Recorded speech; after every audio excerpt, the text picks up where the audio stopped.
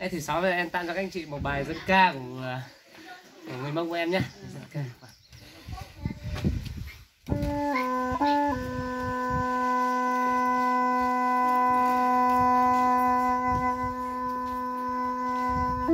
you.